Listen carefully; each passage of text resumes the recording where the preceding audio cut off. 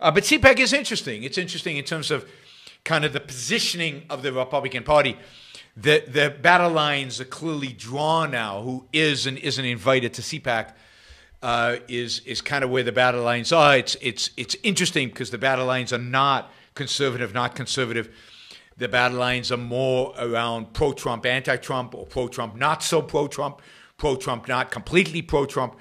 You know, it's it's the, the the line is basically how religious are you about Trump? That is the that is what CPAC is drawing the line. It used to be about whether you were conservative or not. Certainly, many Republicans were never invited to CPAC because they just weren't conservative. It was typically a place where the most conservative of uh, the senators, of House members, of intellectuals, of radio talk show hosts were invited. But this year, and and uh, this year it's clear. This year it's clear that this the, the criteria by which the speakers uh, were determined was their loyalty to Donald Trump. So conservatives, real conservatives, actual conservatives who hold conservatives' points of view, who vote conservative, like Ben Sasse, or like Nikki Haley, or like John Bolton, were not invited. Uh, all of them uh, spoke spoken at CPAC many, many, many times, but this year clearly not invited, despite the fact that many in the Republican Party consider Nikki Haley one of the frontrunners for the uh, for the for the primaries, at least uh, for for president in 2024. Uh, some even consider Ben Sasse to be such. Uh, ben Sasse has been a very popular senator, except um, except for the last couple of years with with Trump. Uh, but it's very it's very interesting how the line is being drawn. He, who has been invited? Well, Ted Cruz and and Senator Josh Hawley. Uh, Josh Hawley, who I've been talking about for, for, for a, at least a year, maybe two. Uh, we'll get to uh, Hawley in a minute. Uh, of course, uh, uh, a lot of a lot of the intellectuals who have supported Trump nonstop, a lot of the House members have supported Donald Trump nonstop, including pretty pretty far right in the collectivist sense members. One of those House members spoke earlier uh, in the day at Nick Fuentes' um, gathering and then came over to CPAC uh, following Nick Fuentes' racist uh, gathering also in Florida, in, in, in Orlando. So, uh, yes, the battle lines are drawn across the kind of collectivist, populist uh, line. No more is it about uh, conservatism. Or, or, what used to be considered conservative ideas. Uh, which brings me to, you know, Josh Hawley. You remember Josh Hawley? Uh, I've talked about him a lot. National conservative, uh, senator, one of the senators who, who questioned the, the who uh, wanted an investigation into the election fraud. One of the senators who were trying to hold up certification of the vote uh, during uh, the Senate and, and uh, one of the, the who famously raised a fist to the uh, demonstrators outside Capitol Hill on January 6th. But more importantly, I think uh, one of the smartest senators in terms of just credentials, Ivy League education, uh, considered very, very smart, and a leader of the national conservative kind of movement. And I just want to show you a 30 second clip of his uh, of his talk at CPAC. Uh, I think it was earlier today. Just to give you a sense of what the Republican Party of tomorrow, the Republican Party of today, the Republican Party of Donald Trump, is all about.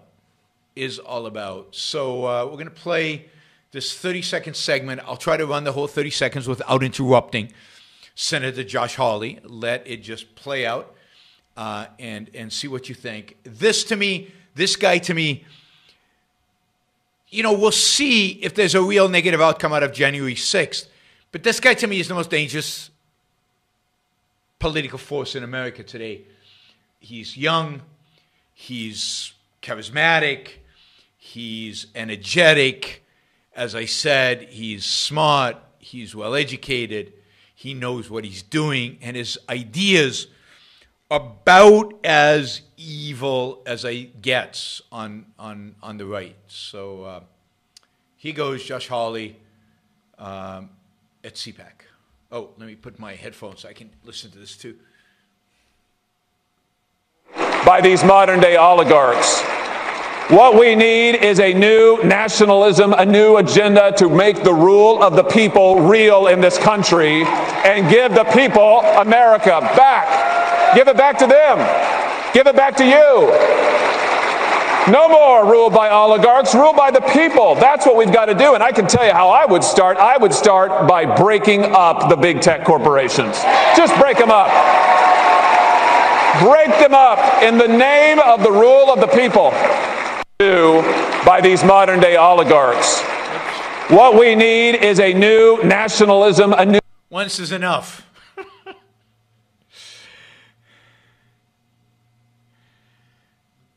So, um,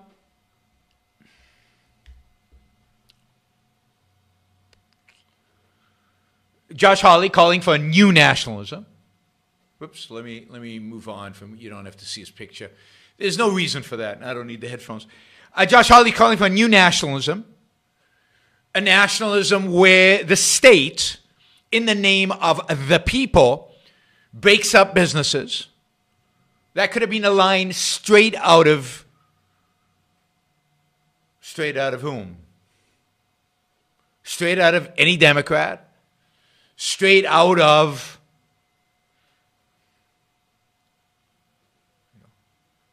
AOC, straight out of anybody on the radical left, on the far left. And rule of the people. Well, isn't that what we got? Isn't that what we call voting? Wasn't Joe Biden elected by the people? Don't we have now a president elected by the people? Isn't that how the American system worked? Don't we have a Congress of the people?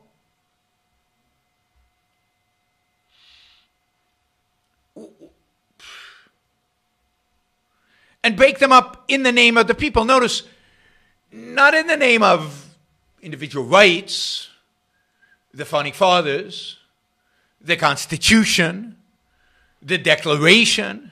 Oh no, none of that is relevant to the modern Republican Party. None of that is relevant to Donald Trump's political party. None of that is relevant to Josh Hawley. I think one of the premier leaders of at least this wing of the Republican Party moving into the future.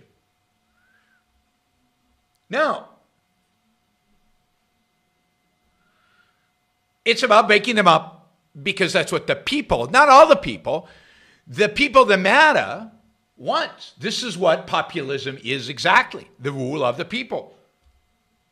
I mean, maybe we should introduce Ross Perot's um, idea of uh, you get a little button that you can link up uh, to the internet. In those days, you would link it up to the TV, to cable, um, and you get to vote on everything. To hell with the House of Representatives and the Senate. Let's have direct democracy. Let's have rule by the people. which is what Ross Perot wanted with the little button by the television. Uh, Cook says Teddy Roosevelt also campaigned on a new nationalism and popularized antitrust. Absolutely. I mean, Teddy Roosevelt uh, used to make my top five worst presidents of all time, probably still does. I haven't reconsidered my worst five presidents of all time because I, I don't know how to squeeze Obama and Trump into that. Um, and, uh, and, and, and still get uh, all the really bad guys in there. But Teddy Roosevelt definitely makes it because Teddy Roosevelt is the beginning of the end. He is the first progressive president of the United States. He is the one who introduces nationalism. He is the one that introduces conservationism, environmentalism, if you will. He is the one who really becomes a strong advocate of antitrust. And he is one who advocated for war. He was one, uh, a big one, in terms of uh, military adventures. Military adventures. Oh, you guys want the top five, the bottom five? It's hard to figure out exactly, right? Because again, there's so many of them now. There's so many bad ones. But certainly Teddy would be in there. Wilson would have to be in there. And FDR would have to be there, though FDR was a good wartime president. That is, he was a terrible peacetime president and a, and a decent wartime president.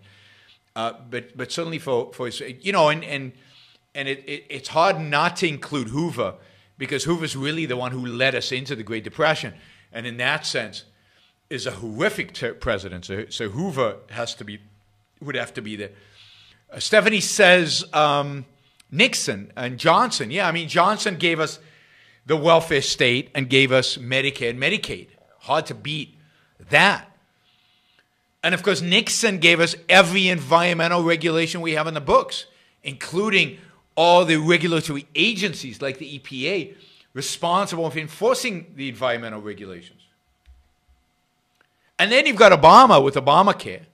You've got Bush with the ridiculous wars in the Middle East, and then with the financial crisis trying to save capitalism by violating its principles.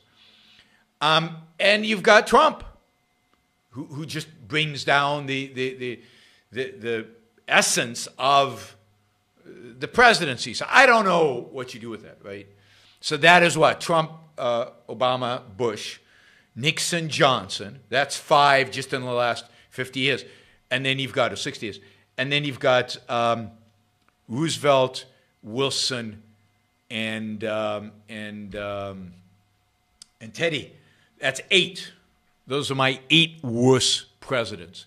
And notice the three of them are the last three presidents. We'll see how, how Obama, I, am sorry, how um, Biden does, right? How Biden does. All right, so let's see.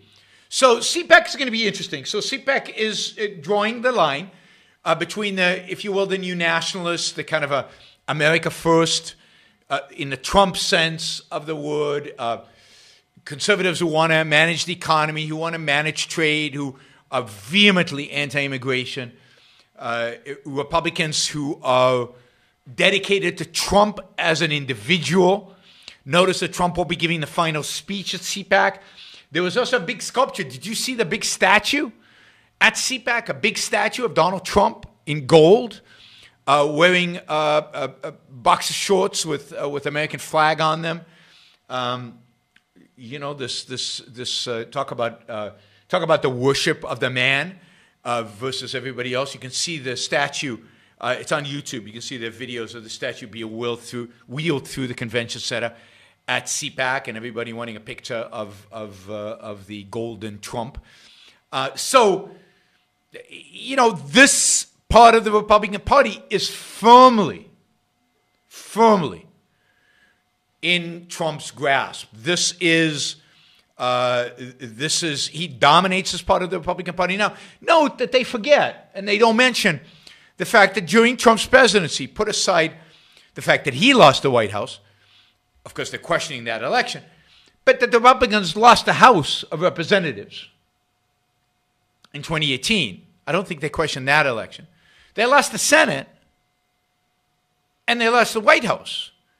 And yet, notice his grasp on the party. It doesn't matter that he's a loser that's brought about massive losses to the Republican Party. That doesn't matter. He's got this grip on them, which is an emotional grip. And I think the source of that grip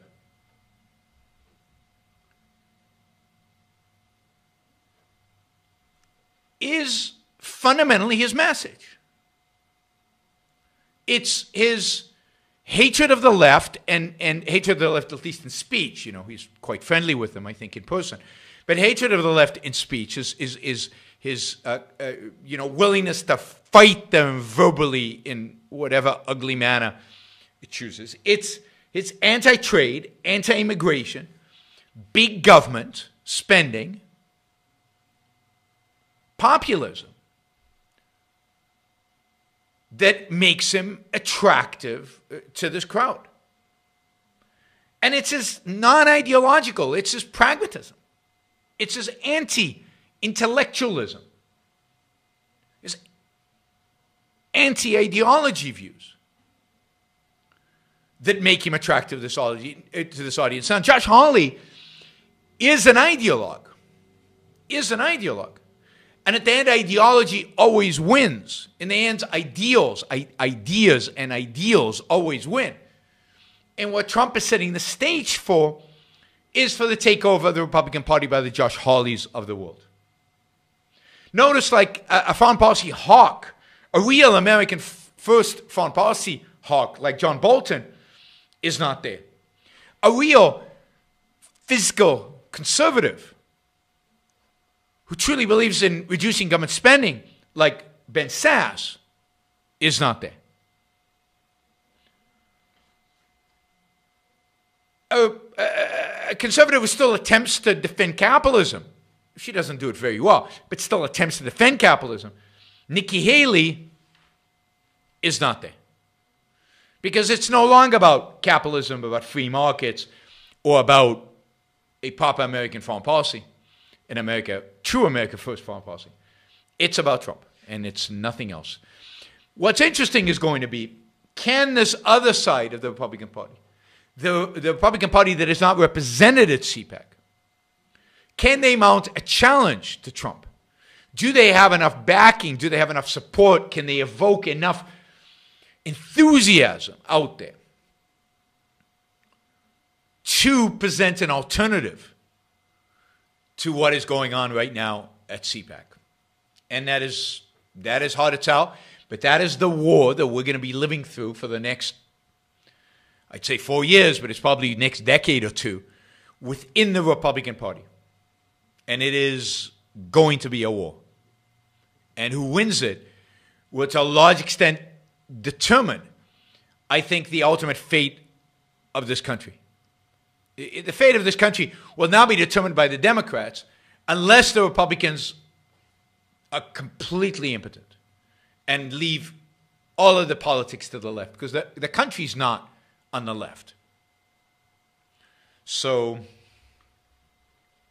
it's going to be interesting. It's interesting to watch, sickening to watch, uh, disgusting to watch, but important. Important because it shapes the future. We need, America needs an opposition party to the left. America needs a party that at least nominally stands for individual rights and free markets. Nominally, not in the sense that we mean it. A, party that still longs for the founding fathers. That is that is the battle. Nicholas says the GOP is lost. Nobody will stamp up, up against Trump. We'll see.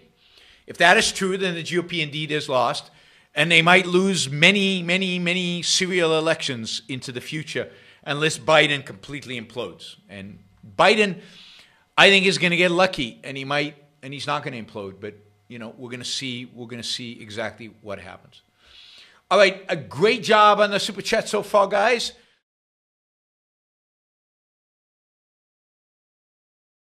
What we need today what I call the new intellectual would be any man or woman who is willing to think.